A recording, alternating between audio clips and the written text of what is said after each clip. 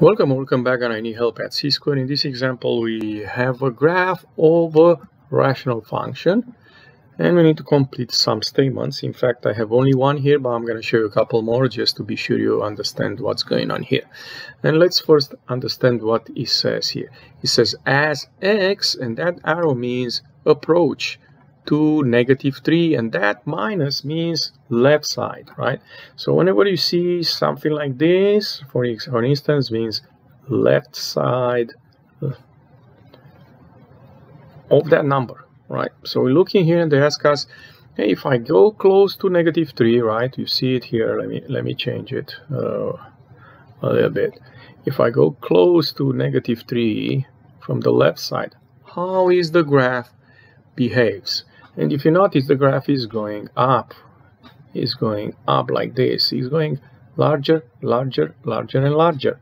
That means when x approaching negative 3 from the left, the function is getting larger and larger, positive infinity.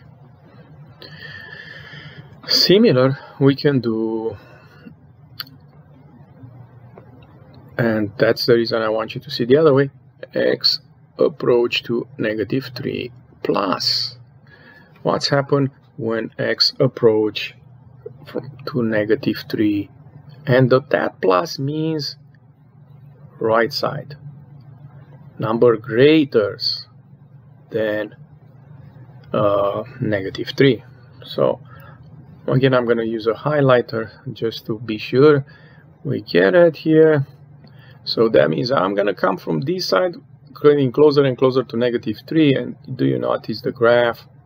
It's going down like this. So once you go close to negative 3, the graph is going down.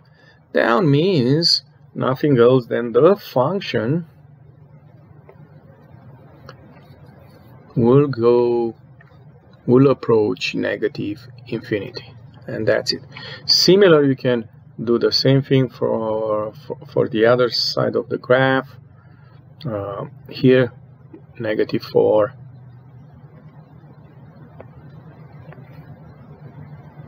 And I'm sorry, positive 4 from the left side, so that will be 4 and the negative on top, or from this side, okay?